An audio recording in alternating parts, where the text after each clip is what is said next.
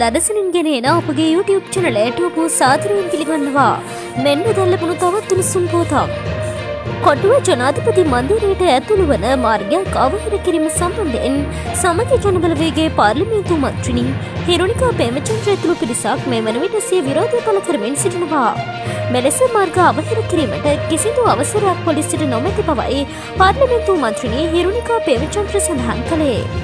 ජනතාව මේ අවස්ථාවේ එක්ව අවධිය යුතු බවත් තවත් වසර දෙකක් ඉවසා සිටිනවාද තමන් විඳින පීඩාව වෙනුවෙන් සියලුම දෙනා එක්වනවාද යන්න තීරණය කළ යුතු බවයි ඇය වැඩිදුරටත් සඳහන් කරන්නේ. මෙවැනි උණුසුම් පුවත් ලදසිරින් දැන ගැනීමට අපගේ YouTube චනලය සබස්ක්‍රයිබ් කර බෙල්ලයිකනේ ක්‍රියාත්මක කරන්න.